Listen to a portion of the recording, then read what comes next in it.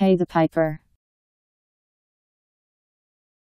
To pay expenses for something, and thus be in a position to be in control, i.e., to be able to call the tune.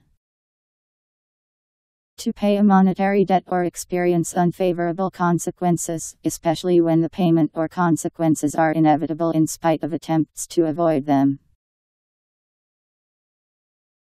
P A Y T H E P I P E R Pay the piper.